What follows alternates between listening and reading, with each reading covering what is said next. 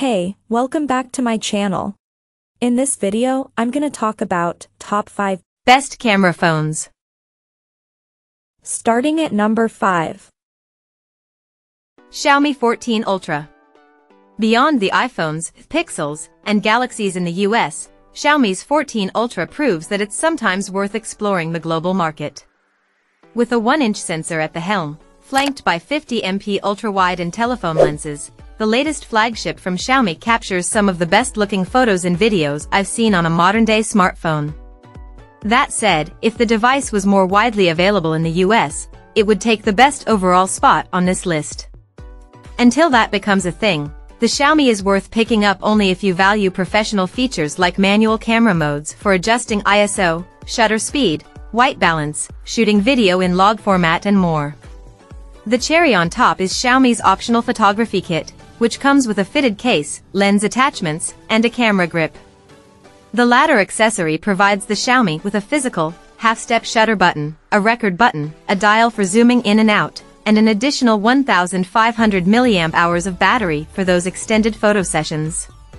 For what it's worth, the Xiaomi 14 Ultra goes nearly spec for spec with last year's 13 Ultra, suggesting that its predecessor was just that good. The newer model wins out with an updated Qualcomm Snapdragon 8 Gen 3 processor, a front-facing camera capable of 4K recording, and more RAM. Coming at number 4. Google Pixel 7a.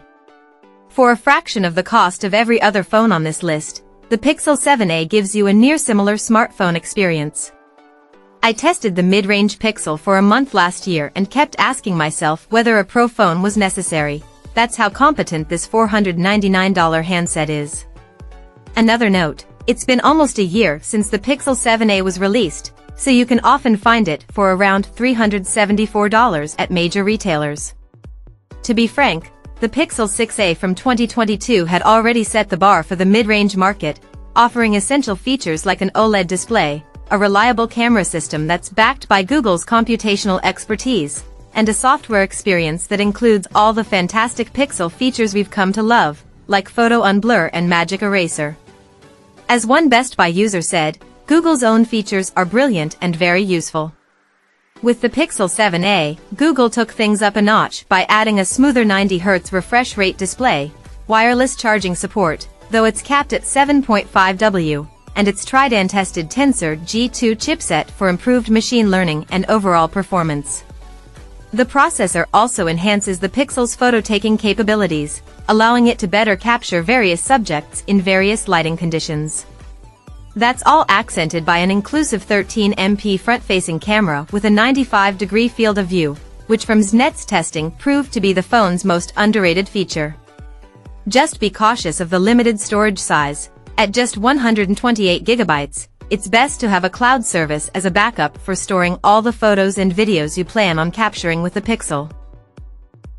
At number 3. Samsung Galaxy Z Flip 5. While the Z Fold 5 is the best Samsung foldable, the Z Flip 5 will likely appeal to the masses. Not only is the clamshell-style handset less expensive than the Z Fold, but it's more compact and portable and is much easier to learn how to use.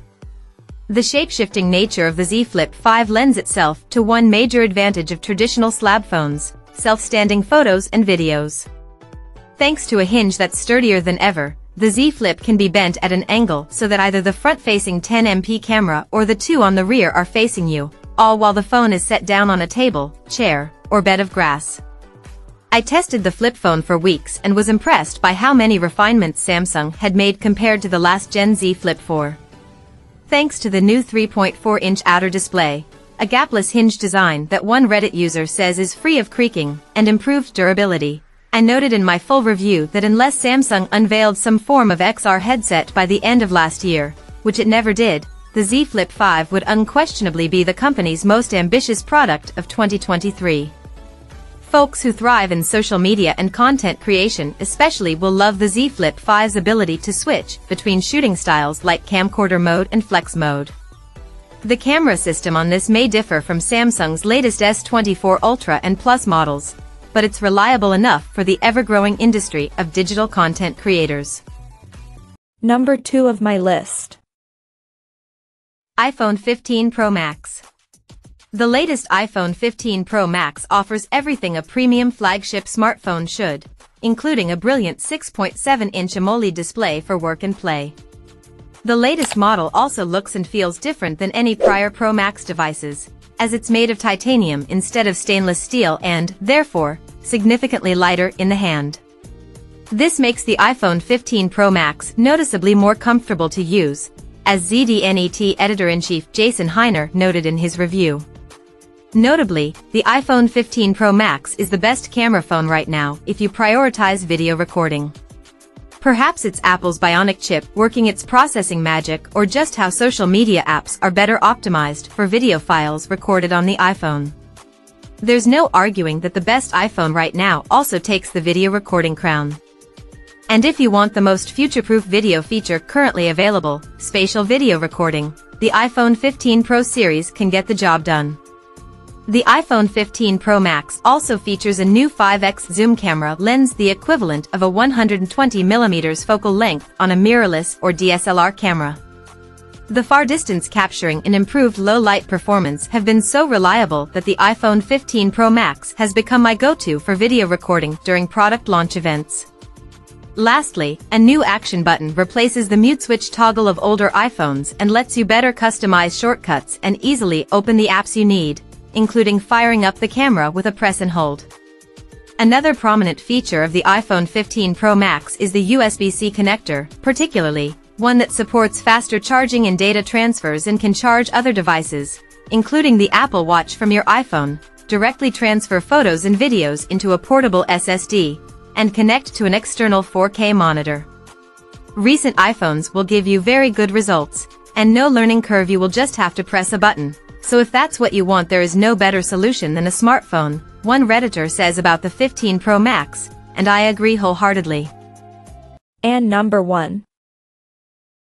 Samsung Galaxy S24 Ultra. Samsung's best smartphone this year, for now, is also the best camera phone that money can buy currently. The Galaxy S24 Ultra builds on last year's camera prowess with a similar 200MP main lens, 12MP ultra-wide, and 10MP 3x telephoto, but a new 50MP 5x telephoto. That last sensor makes the most significant difference in far distance capturing and producing naturally blurred bokeh in portrait mode.